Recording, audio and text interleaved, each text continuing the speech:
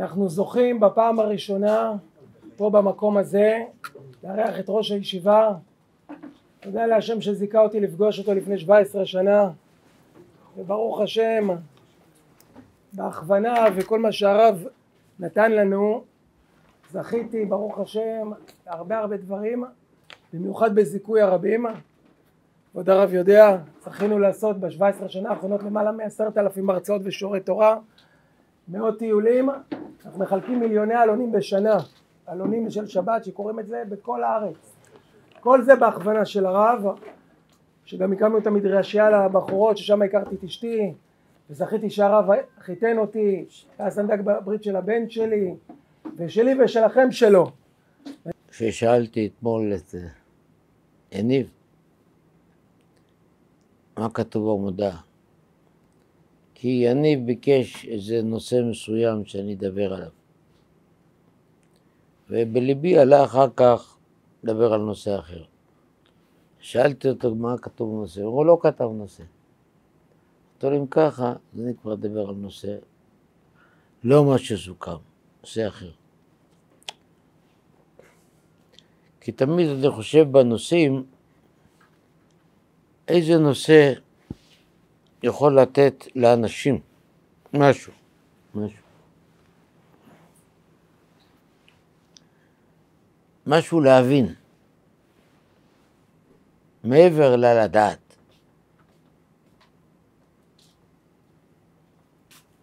רוב הדרשנים, הרבנים, בהרצאות, מוסרים אינפורמציה מסוימת, חשובה, טובה, קדושה, כל שתהיה. אבל האם אחר כך יוצא האדם בתובנות אחרות? תובנות שלא היו לו לפני כן? לא הייתי אומר. אני פה. מילדותי, מנערותי, שמעתי את כל המרצים מכל הארצות. מכל החוגים. מכל החוגים, כל הסוגים. שמעתי. לא חשוב מימין, משמאל,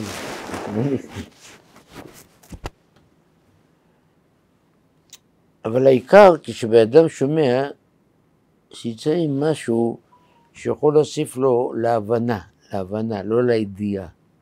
אתם יודעים, יש חוכמה, בינה, דעת. המילה חוכמה זה אינפורמציה, ידע. המילה בינה פירושה להבין דבר מתוך דבר. שורש המילה בינה זה בן, בן זה הולדה. אם כן, בינה זה מה שאתה לימדת את עצמך. הסקת מסקנות מתוך הידע שבידך. כך למעשה התקדמה כל הציוויליזציה. ולכן החתולים נשארו אותם חתולים, והסוסים אותם סוסים, והקופים אותם סוסים.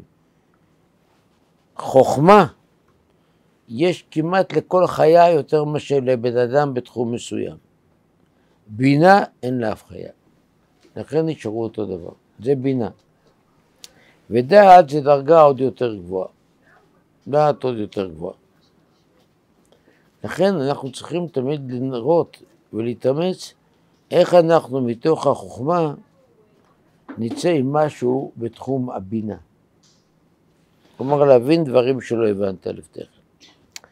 אני אתייחס לנושא שעומד כבר כמה חודשים, כמעט, כמעט חצי שנה, מפברואר, על סדר היום העולמי,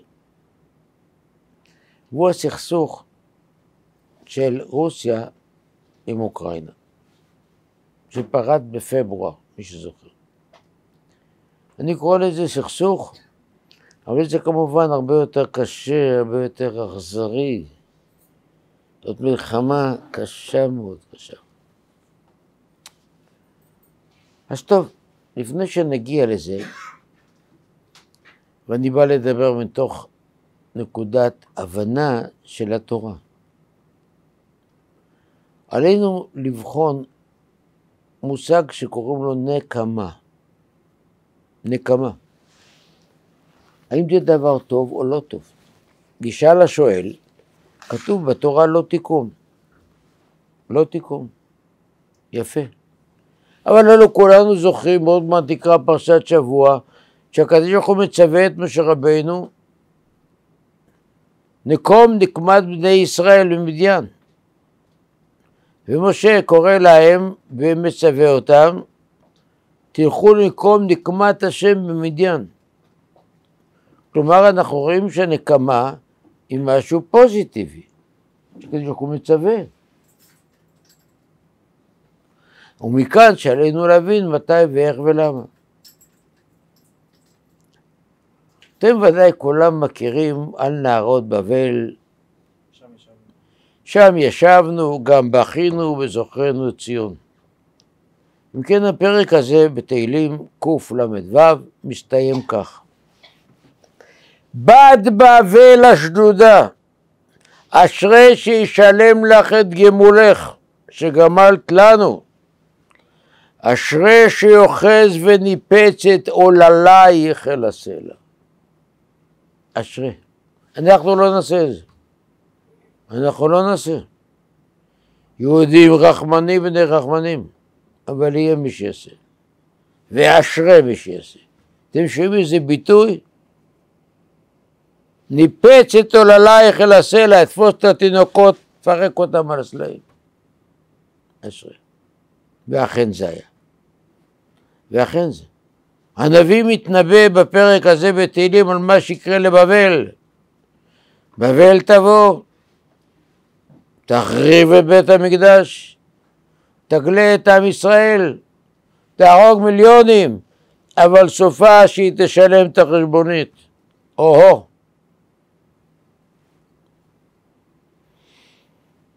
עד כדי כך שאמרו חז"ל במסכת סנהדרין, גדולה נקמה שניתנה בשתי שמות שכתוב בתהילים אל נקמות השם, אל נקמות הופיע.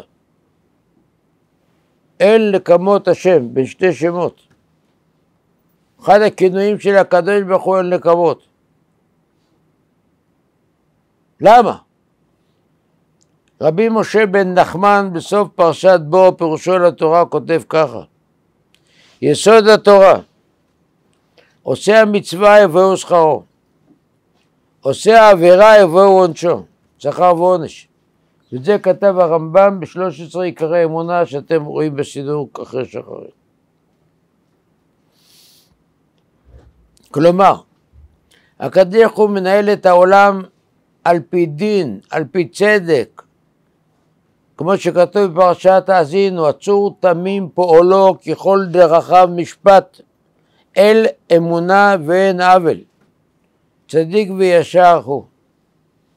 זה א' ב' של אמונה. הכל מדוד. אחת השאלות הקשות ביותר, כמו שכתוב בגמרא מסכת ברכות, דף ז', צדיק ורע לו. כמעט בכל הרצאה שאני מופיע לפני ציבור, שואלים את השאלה, צדיק ורע לו, רשע וטוב לו. אבל האמת שגם הנביא שאל את זה. הנביא ירמיהו בפרק ב' אומר, אך משפטים אדבר אותך. זה פונה לקדוש ברוך הוא. מדוע דרך רשעים צליך? שאלו כל בוגדי בגת. ולכן מבקש המשורר בספר תהילים ע"ט יוודע בגויים לעינינו נקמת דם עבדיך שפוך. שפכו את דמנו כמים. אין מקום בכדור הארץ שלא רווי עם דם יהודי, אין. אנחנו רוצים לראות את הנקמה, אתה תעשה אותה. נקום לעינינו נקמת דם עבדיך שפוך. הקדוש ברוך אומר לאברהם, גר יהיה זרעך בארץ לא להם. ועבדום ועינו אותם ארבע מאות שנה. אבל, אבל, גם את הגוי אשר יעבוד דן אנוכי, ואחרי זה יצאו בחוש גדול. מצרים שעינתה אותנו, עינתה אותנו, הרגה את ילדינו. שילמה, ועוד איך שילמה. עשרת המכות, דן צפרדע כנים, אחר כך טבעו בים סוף כל יחידות המובחרות של מצרים טבעו, סוס פרעה ורכבו רמה בים. שילמו, וכל העולם ראה. יש תג מחיר. יש יום נקם ושילם. יש יום נקם ושילם. ככה היה תמיד. האימפריה של אשור, שהייתה אז הגדולה ביותר בעולם, הגלתה 85% מעם ישראל עשרת השבטים. לאיפה? עד היום לא יודעים. זרקו אותם למזרח. אבל הם שילמו.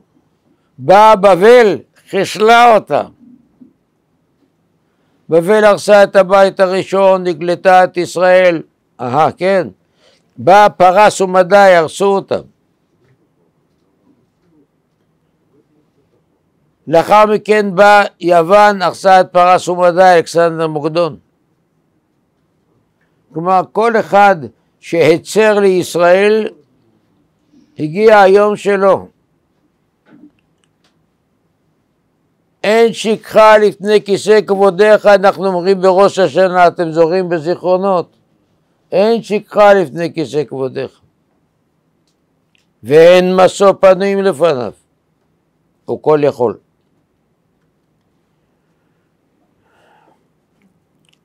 אז בואו נעבור לסיפור שלפנינו. על הנושא הקודם עוד אפשר להאריך הרבה הרבה הרבה. לא עכשיו. לא עכשיו. לאחרונה העולם נקלע למצב מאוד מאוד קשה. אף אחד לא חשב שבתקופה שלנו פתאום אומה אחת תסתער על אומה שנייה שלא עשתה לה כלום, בלי שהוא, מה שקוראים בשפת החוק הבינלאומי קאוזוס בלי, סיבה ללחימה, תעליה, תהרוס אותה, תפציץ אותה, תהרוג אותה. לכן הקימו הרי את מוסדות האו"ם, ומועצת הביטחון, הקים משא ומתן, שלום. אין כמעט זמן, מישהו בדק את זה פעם, ממלחמת העולם השנייה שאין סכסוך בין שתי מדינות, אין. אבל איך אומרים, מתגששים, מתפשרים, סוגרים עניינים. אבל עכשיו זה לא ככה. ב-24 לפברואר, זה לפני כמה חודשים, כוחות רוסיים תקפו את אוקראינה מכל הכיוונים, ביבשה, באוויר ובים. וזה נמשך עד היום. מלחמה קשה. לשני הצדדים הרבה הרבה הרבה מאוד הרוגים, פצועים, נזקים. כל מה שהם מספרים זה לא אמת, כמו בכל מלחמה, ערפל למלחמה. ואף אחד לא יודע עד מתי תימשך. כולם חשבו ששבועיים שלוש זה גג, וכולם לא יודעים לאן זה מוביל. עכשיו זה הפך כבר לבעיה כלכלית עולמית. כי רוסיה ואוקראינה מספקות שליש מהחיטה בעולם. ומרוסיה לא קונים כי יש עליה חרם. ומאוקראינה לא קונים כי רוסיה סגרה את הנמלים. הבנתם? אספקט נוסף של כל העסק. וכאן אנחנו אומרים לשאלה, האם באמת יש לתורה, לאמונה, הסבר לדבר או לא? או לא? למען האמת, ואני אמרתי את זה כבר לפני פרוץ המלחמה, זה מוקלט, ואתם יכולים לראות את זה אחרי זה ביוטיוב, שתהיה מלחמה. גם המודיעין של ארה"ב, של אנגליה, כולם אמרו, לא תהיה, אוקראינה, מה לדבר, זה הפחדות, הפחדות של הרוסים. זה ריכוז כוחות, זה לא מלחמה. ואני אמרתי את זה, אתם יכולים לשמוע את זה. היה תהיה, וקשה תהיה. וגם בתוך המלחמה, וגם עכשיו אני אומר לכם, רבותיי, לא נגמר עוד. זה לא ייגמר בטוב. זה לא ייגמר. היום כל העולם חושש, אבל באמת, שרוסיה תזרוק פצצות אטום. כי אצל פוטין אין מושג שהוא יפסיד. זה לא קיים.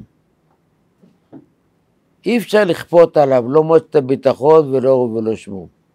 זה לא איזה ישראל שעושים לה והרס.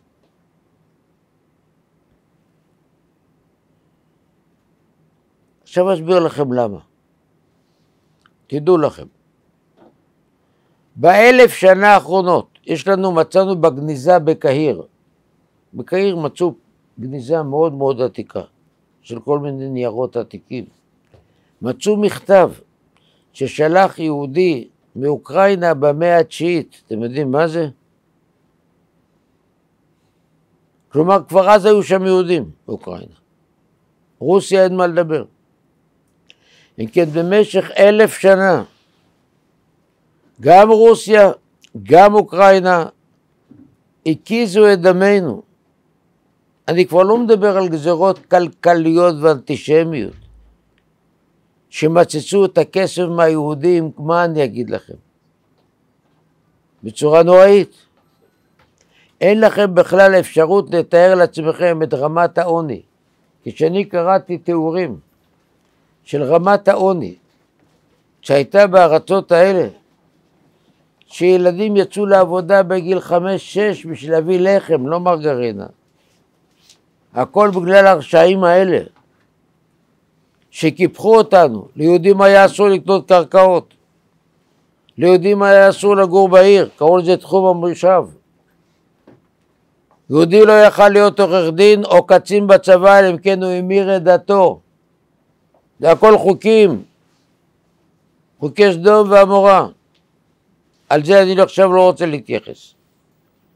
אני מדבר איתכם עכשיו על רציחות, על פוגרומים, על דברים איומים שעשו לנו שני העמים האלה, ובראש וראשונה אוקראינה.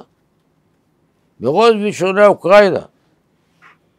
והדברים מתועדים בספרי ההיסטוריה.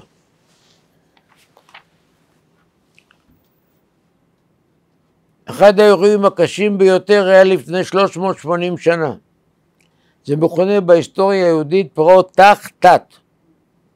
היום אנחנו תשפ"ב. ת"ת, פירושו לפני 380 שנה בערך. השליט של אוקראינה קראו לו בוגדן חמלניצקי, חיית טרף. הוא חיסל 80 אחוז מיהודי אירופה, הרבה יותר מהנאצים, בצורה מכוונת מאורגנת. ושוב, הכל מופיע בספרים מאותה תקופה. מאותה תקופה. כמה בדיוק נהרגו, זה לא כמו היום, יש השערות. הן נעות בין 600 אלף ל-250 אלף. כאן אני מצטט את כל ההיסטוריונים. מי שרוצה יכול לראות את זה באתר. אבל הם היו פי כמה גרועים מהנאצים. עם כל המחנות השמדה, הרגו, שרפו, הכל. הם לא, הם התעללו בבני אדם, רבותיי. אני אקריא לכם קטע מספר של אותה תקופה. נתן נטע הנובר בספר יבן המצולה. הוא כותב יהודים שלא יכלו לברוח ונהרגו על קדושת השם במיתות משונות ומרות, קצתם פשטו אורם מעליהם והבשר השליכו לכתבים, הבנתם? כמו פשטים מבהמה, פשטו באנשים את האור. זה כושים באפריקה לא עושים. קצתם קיצצו ידיהם ורגליהם ושליחום על הדרך ועברו עליהם בקרונות ודרכום בסוסים. קצתם פצעו בהם פצעים הרבה, שלא יהיה כדי להמית, ישלחום בחוץ שלא ימותו מהרה. פצעו את הבן אדם שישכב מדמם יום, יומיים, שלוש. לא עשו לו את החסד לחתוך לו את הראש ישר, מכוון.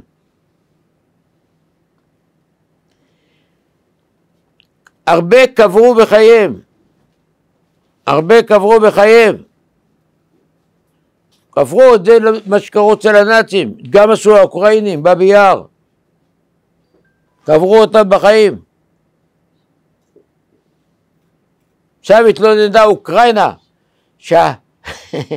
שהרוסים הביאו טרקטורים גדולים, אתם מכירים את זה, D9, אתם יודעים מה זה D9, יכול להפיל בניין, והפילו בניינים שבתוכו יש אנשים פצועים וחיים בלי להסתכל מי הם. סליחה, את זה למדו מכם, את זה אתם עשיתם. שחטו ילדים בחיק אמותם. הרבה ילדים קראו לקרעים כדגים ונשים מעוברות, תקשיבו, בקעו בטנם, הוציאו העובר, חבטו בפנים של האימא שימות.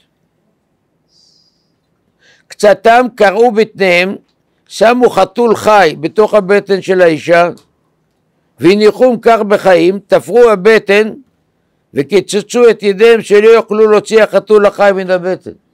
איזה מעשים כושים באפקלסים. מוציאים לבטן של אישה את החתול, תופרים לה בחזרה, ושלא תוכל לקרוע את הבטן ולהוציא את החתול, חתכו לה גם את הידיים. מישהו שמע שנאצים עשו דבר כזה? לא, לא, לא. זה באוקראינים. תלו הילדים בזדי אמותם, קצתם ילדים חתכו בשיפוץ, לאו אצל האש. והביאו אל אמותם שיאכלו מהם. לפעמים לקחו מילדי העברים ועשו גשרים לעבור עליהם. לא הייתה מיתה משונה בעולם שלא עשו. בוויקיפדיה מצוטט היסטוריון, ביין, והוא כותב בטווח של מאות מילין בעלי אדמות הופשטו מאורם הבנתם? הורידו להם את האור, קילפו להם סכין את האור. נשרפו, הוברו, נוסרו לשניים בפולנה. יהודים נקצצו לחתיכות ובשרם נמכר על ידי הקצבים והאטליזים. הנאצים עשו כזה דבר? לא. הקוזקים צלו ילדים רכים ואכלו אותם אל מול אמותיהם. זה תיאורים מאותה תקופה.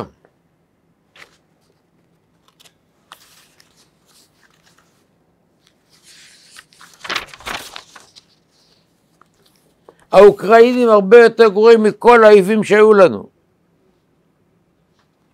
אין עד היום רחוב בגרמניה שקראו על שם הנאצים הגדולים, אין. לא, לא, באוקראינה יש עיר, הייתי, עיר בשם חמלניצקי. כמעט בכל עיר באוקראינה יש כזה סוס גדול עם מתכת באמצע העיר ועליו יושב חמלניצקי. זאת אומרת, הם לא מתביישים במעשים של חמלניצקי, הם מתגאים בזה. מתגאים. וכאן מדינה של מטומטמים, הולכים לעזור להם? שמים להם אולטימטום, קודם כל תורידו את כל הסוסים בחמלניצקי. תורידו! לא מדברים. הם עוד באים להאשים אותנו, אנחנו לא עוזרים להם מספיק? תעזוב, בוא נעזוב מה היה לפני, תכף נחזור מה היה לפני מאות שנים. בוא נעזוב מה היה בזמן הקומוניזם. שלושים שנה אוקראינה עצמאית. אף פעם לא הצביע עם ישראל באו"ם. כל ההצבעות באו"ם נגד ישראל. עכשיו אתם טובים שאנחנו ניתן לכם נשק? שאנחנו נעזור לכם? למה? גם כשהייתם אתה, אדון זלנסקי, יהודי, יהודי עם אישה גויה וילדים גויים, עזוב, לא חשוב. אתה תמכת פעם בישראל באו"ם או תמכת בערבים? פעם אחת לא. פעם אחת לא תמכו בישראל. אז עכשיו אתם רוצים שאנחנו נעזור לכם? למה? אנחנו ניתן לכם נשק? למה? היה לכם כסף, יכלתם לקנות. תבינו. ולא כאן כאן אף גבר שיגיד להם את זה בפנים. אף גבר. הם יודעים להשמיץ אחד את השני, ואין את ביבי, ביבי את זה, ושמע את זה, כל, כל עומדים לכלך אחד על השני. תגידו להם, בפנים, איפה הכבוד שלכם? הלא אפילו המילה כצאן לטבח יובל היא מדי עדינה, לצאן לא עושים כאלה דברים. אף אחד לא יתעלל בכבשים. אמרו חכמינו, העושה עבירה הוא מתבייש והם מוכנים לו על כל עוונותיו, הם לא מתביישים. עד היום חמלניצקי גיבור לאומי.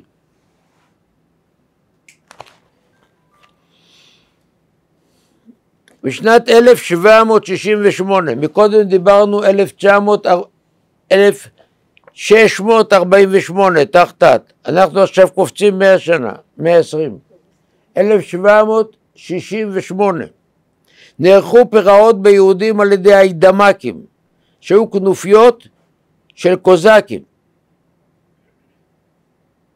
החל מסוף המאה ה-19 התחילו פוגרמים ב-256 ערים באוקראינה. זה התחיל ב-1881 עם סופות בנגב, כך היה כינוי. נגב זה דרום, בדרום אוקראינה.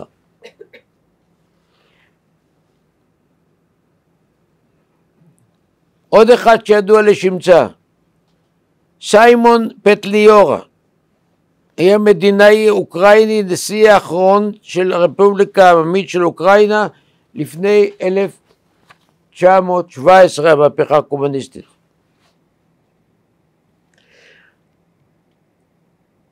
אקריא לכם מתוך ספר של אדם שחי באותה תקופה, שר הטבחים פטליורה אנשיו, חייליו, ביצעו פוגרומים, נרצחו עשרות אלפי יהודים, לפחות חמישים אלף, על פי האומדנים המינימליסטיים. משה רוזנבלט, הרב הממונה על יהודי אוקראינה, כתב בעיתון שהוא יש לו תעודות, מסמכים ש-200 אלף יהודים הרג הפטליור הזה, במאה ה-20, 1917. בסוף בחור יהודי הרג אותו בפריז, אל תחשבו.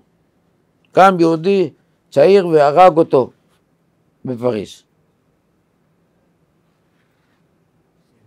אם נעבור לתקופה שלנו השואה, עד שנפלה ברית המועצות היה כתוב בספרי ההיסטוריה שהאוקראינים הרגו 900 אלף יהודים. אחרי שנפתחו כל הארכיונים הגיעו למיליון 200. היום הדעה של ההיסטוריונים שהאוקראינים הרגו במלחמה מיליון 600 אלף יהודים. בשנת 88 אתם ודאי זוכרים, הייתם יותר צעירים, יותר מבוגרים, משפט ג'ון דמניוק, זוכרים? שם הוצגו כל המסמכים בצורה מסודרת, אמיתית, לא חלטורה, לא עיתונאים ולא כלום. הכל הוצג. השיא המפורסם היה בבאבי יער, באבי יער. שם אספו את היהודים, אמרו להם בואו בחוץ לעיר, מסיעים אתכם ברכבות. כולם באו בציוד המזוודה, העמידו שני שורות חיילים אוקראינים, עברו באמצע עשר עשר, קצרו אותם. עם נשק אוטומטי זרקו אותם לבור, באמצע הבור. 33 771, 33,771 יהודים ב-29 עד 30 לספטמבר 41. אלה של היום.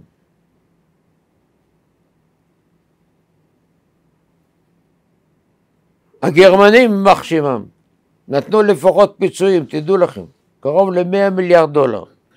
אם לא הגרמנים, לא היה כאן לא כבישים ולא קשרים וגם לא נמל אצלכם. גם הטנקים הראשונים קיבלנו מגרמניה, מי שזוכר את הפטרונים. אתם האוקראינים שילמתם?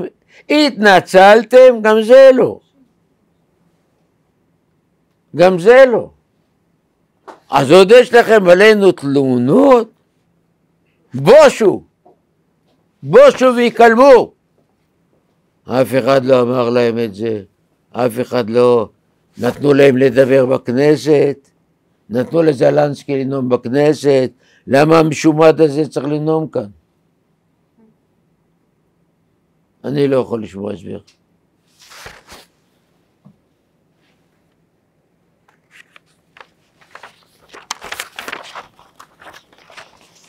וכמובן,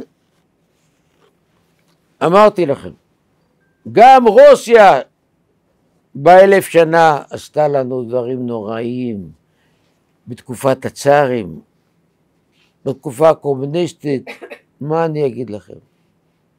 לא רק הרגו את האנשים, גם חיסלו את הדת, עינו אותם מה לא. הסיבב בורא עולם, שעכשיו הם יהרגו ויכו ויחרימו אחד את השני.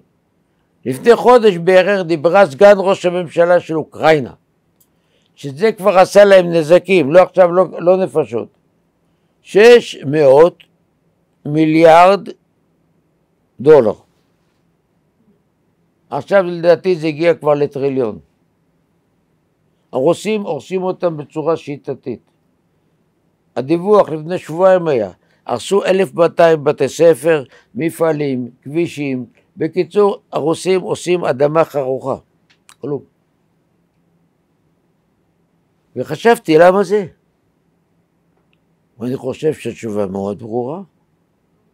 הם הרגו, כמו שאתם רואים, מיליון שש מאות אלף יהודים. בואו נצא מתוך הנחת עבודה, אה, שישה נפשות למשפחה. כמה בתים זה היה? 250 אלף בתים. שש כפול 250 אלף זה מיליון 500. איפה הבתים האלה? אתם גרים שם, האוקראינים. אתם. אתם המדינה, הגרמנים יימח שמם שילמו. אתם שילמתם פעם? אתם גרים בבתים של יהודים. דמי אחיך זועקים מן האדמה, אמר הקדוש ברוך הוא לקין. אה, כן, באמת. אני אשלם לכם, אומר הקדוש ברוך הוא. הבתים האלה לא יעמדו יותר. אני אשבור את כל הבתים שלכם. אני אשבור את כל הכבישים שלכם. אני אוציא לכם את הכסף, לא בטובות, תהיה ברעות. עם ריבית והצמדה אתם ששלמו את הכסף שגנבתם לילדים שלי. ואני אגיד לכם מתי עלה לי הרעיון.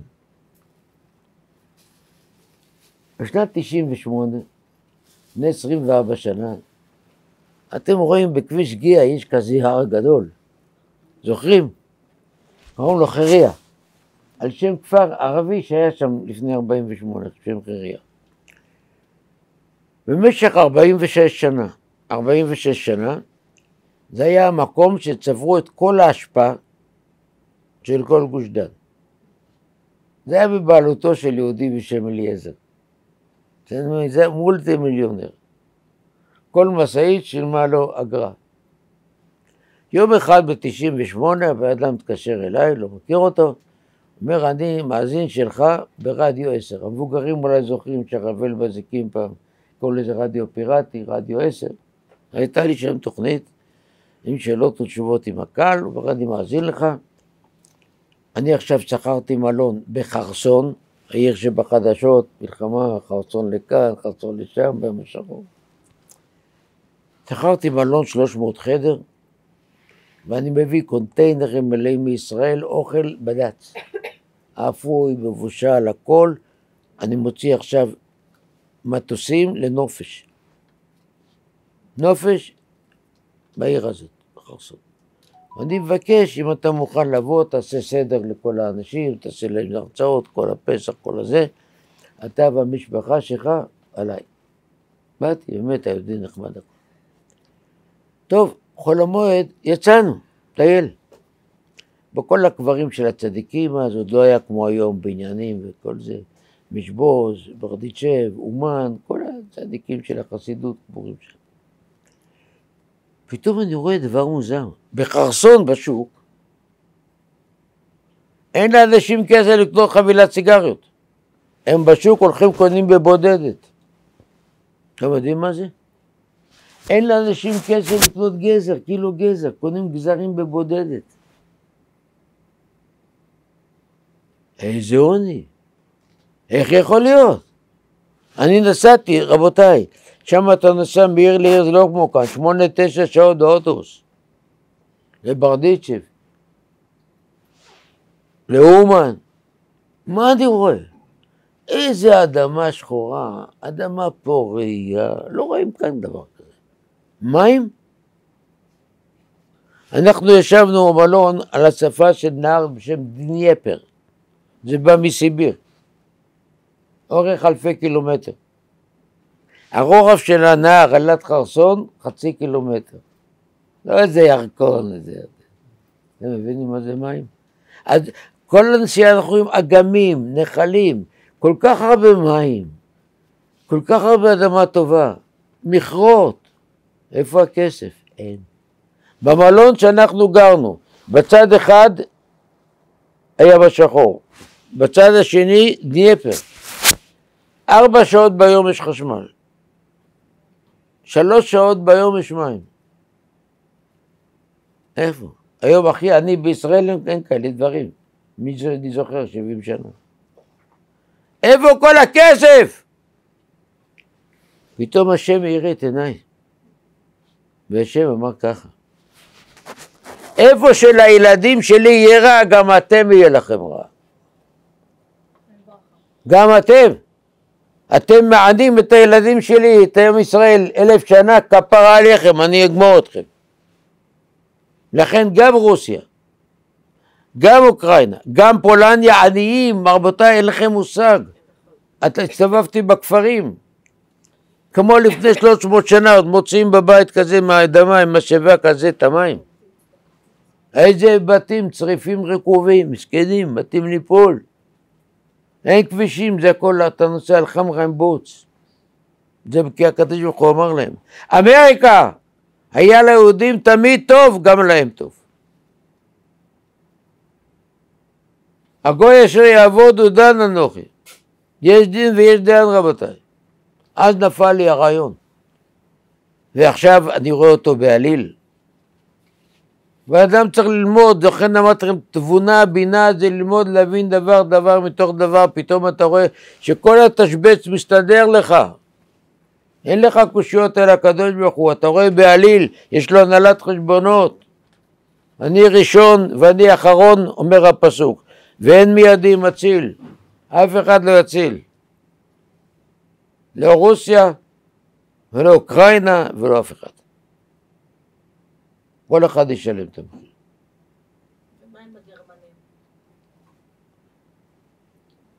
ולכן אנחנו רואים שמתקיים הפסוק שהתחלתי איתו את ההרצאה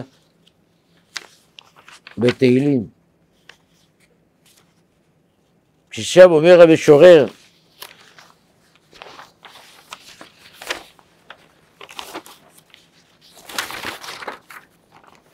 על נהרות בבל שם ישבנו גם בכינו. בת בבל השדודה, אשרי שישלם לך את גמולך שגמלת לנו.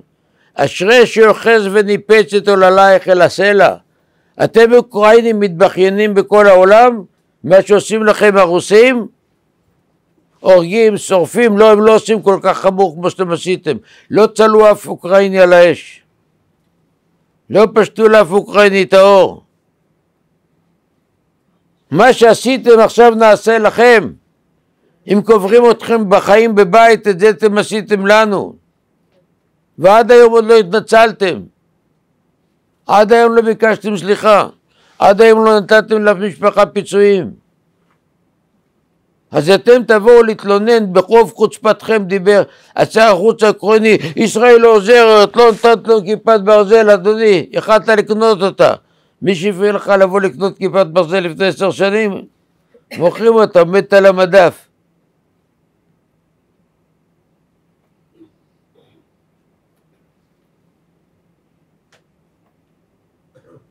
הלא ההיסטוריה כתובה, הלא המציאות ידועה. כי דם עבדיו יקום, אומר הפסוק, ונקם ישיב לצריו. וכיפר אדמתו עמו. כיפר אדמתו עמו. ככה זה לאורך כל ההיסטוריה. לפעמים שואלים אותי אנשים, ומה עם גרמניה שעשתה היא לא שילמה? זה אנשים שלא יודעים היסטוריה, מה אני אעשה? היום יש ספרות שלמה בגרמניה שטוענת שגרמניה הייתה המדינה שסבלה הכי הרבה מהשואה. הם נפגעי השואה הגדולים ביותר, מציקים עובדות. אבא שלי היה בגרמניה אחרי המלחמה, ב-45. הסתובבו ברחובות מאות ואלפי ילדים יתומים, גרמנים, עור ועצמות, והלכו לבקש פרוסת לחם ככה. אני כבר לא מדבר על ההרוגים שלהם במלחמה, אבל הרבה מאוד. אתם שמעתם שגרמנים הורידו לאנשים במשרפות את הבגדים לפני כן, קראתם ספרות? בשביל מה? בגרמניה לא היה לאנשים בגדים ללבוש. הם לקחו את הבגדים האלה, כיבסו אותם והעבירו ללבוש. היטלר אמר עכשיו כל הכסף רק למלחמה, בואו סבלנות. הרי הסיסמה שלו הייתה מכונית לכל פועל מי שיודע. אז בואו נגמור את המלחמה, תקבלו, בינתיים אין כלום. אני לא מדבר על ההרוגים. בחצי שנה האחרונה של מלחמת העולם השנייה, כשכבר ידעו שהעסק גמור, גרמניה מחוסלת. המטוסים של בנות הברית, ובייחוד של אנגליה, מי שזוכר, אנגליה הייתה הראשונה שהותקפה לפצצות V2, שהחריבו כמעט את כל לונדון. הם החליטו לנקום. מטוסים בריטים הלכו והפציצו בגרמניה בתים, אזרחי, לא משנה, אם אנחנו נהרוג איזה אזרח אחד בעזה, כל העולם מזדעזע. בייחוד השמאלנים כאן ישפכו את הנפט עלינו. בית אחרי בית, אזרחים. העיר ברמן נחרבה לגמרי. הם השתמשו בריטים ואחרים, לא רק הבריטים, בפצצות שאסור לעשות אותן. אתם יודעים מה זה פצצות נפלם? יודעים מה זה? זה אסור בחוק באמנת ג'נבה, להשתמש. הבריטים השתמשו. זאת פצצה גדולה שהיא מלאה בזפת רותחת, ב-300-400 מעלות. הפצצה מתפוצצת בערך 80 מטר מעל האדמה, יש לה מד לחץ, כבר מטר, שזה 70 בערך מטר מעל האדמה מתפוצצת, זורקים אותה על אוכלוסייה, המטוס רואה על אוכלוסייה, הזפת נדבקת לבן אדם. הם נשרפו בחיים. כשאתה מקבל פגז או אש, אתה שוכב מהר על הרצפה, מתגלגל, והאש תחבט. אבל הזפת, החמה נדבקה להם לגוף, התגלגלו לרצפה, לא עזר כלום. הם ניצלו חיים. זה לא יודעים. עוד איך, גרמניה הייתה ארוסה. מי ששיקם אותה היו אמריקאים, תוכנית מרשל. וגם זה למה? כדי שיוכלו לתת לנו פיצויים. בינו, הכל צריך להבין למה. לא היה בהיסטוריה שהמנצח הביא כסף למנוצח. זה מה שקרה במלחמת העולם הראשונה, שבנות הברית הטילו על גרמניה קנסות גדולים, מי שקצת יודע היסטוריה. הפעם היה הפוך. גנרל מרשל, שר החוץ של טרומן, הגה את התוכנית, תוכנית מרשל נקרא. הזרימו מיליארדים כדי לשקם את גרמניה. ועד ממילא, אחרי כמה שנים, חמש-שש שנים, היא כבר יכלה לתת לנו פיצויים, אדנהאואר. שאיתם בנו כאן כל הכבישים ובתי חרושת וקשרים ושדות תעופה ואת הצבא. אבל הם שילמו ועוד איך שילמו. לכן אמרתי יש ספרות ענפה בגרמניה שטוענת שהם קורבנות השואה הכי גדולים. וגם זה נכון. אבל הם לא קורבנות, הם הרוויחו את זה טוב. לעשות נקמה בגויים, תוכחות בלאומים. אנחנו אומרים את זה כל בוקר בפסוקי דה זמרה, אתם זוכרים? אנחנו לא עשינו, יש הוא, יש בורא עולם. נקום לעינינו נקמת דם עבדיך השפוך, ואומר כי דורש דמים אותם זכר. לכן רבותיי, אנחנו צריכים להסתכל על המלחמה של רוסיה עם אוקראינה בעיניים אחרות לגמרי, בעיניים של אמונה. אנחנו לא שמחים שלא תהיה טעות. לכן היהודים לא עשו את זה. אדמו"ר מצאנז, שעבר קשה קשה את השואה באושוויץ, אישה ואחד עשרה ילדים לקחו לו, שהקים את חסידות צאנז בנתניה, מי שיודע. אמר שהוא היה בטוח שאחרי השואה היהודים, כל גרמני שירגו אותו, ירגו אותו, נקמה. בפועל לא שמעתי על יהודי אחד, הוא כותב, אדמו"ר מצאנז, לא שמעתי על יהודי אחד שהרג נאצי. לא שמעתי, אבל יש מי שיעשה את זה, הקדוש ברוך הוא. כן נקמות השם, כן נקמות הופיע. עלינו לראות את זה בעיניים האלה. יהודי אסור לו אפילו במה לפגוע, צער בעלי חיים, אתם זוכרים? צער בעלי חיים, אפילו חמור שאתה רואה אותו נופל, צריך לעזור לו לקום.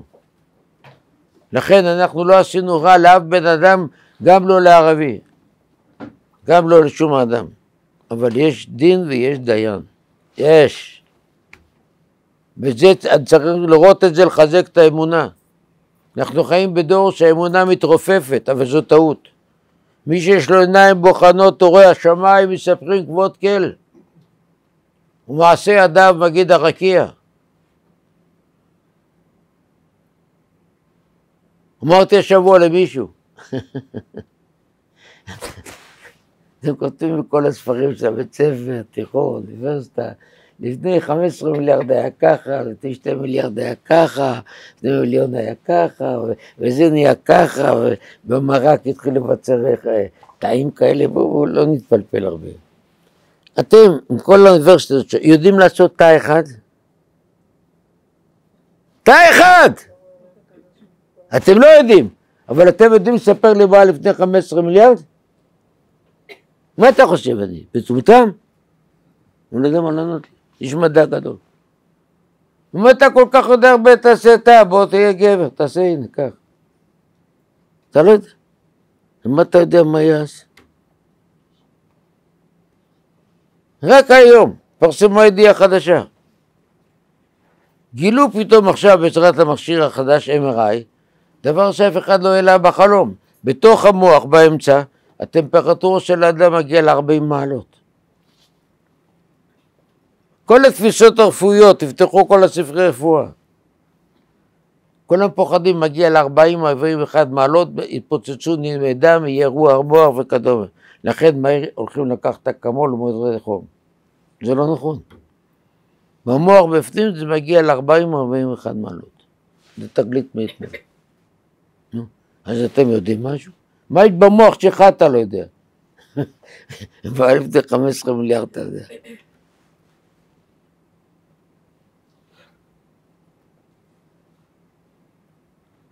אני נסעתי לבדוק את הדברים. הייתי עם המוזיאון המדע בניו יורק, בלונדון, נסעתי מיוחד לראות את הדינוזאורים, כל יכול. אבל בהתחלה שהייתי, היה הדינוזאור עומד ככה, ככה.